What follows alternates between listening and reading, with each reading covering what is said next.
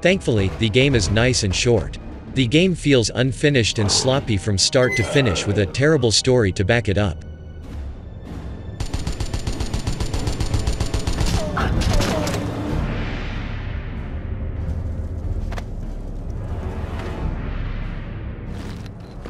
The fighting is repetitive, bad lighting is everywhere, bad jumping mechanics and there is too much frustration at almost every corner. Hellboy fans will be disappointed and action gamers will be frustrated. In this movie I will show you some gameplay moments from this game made in 2008.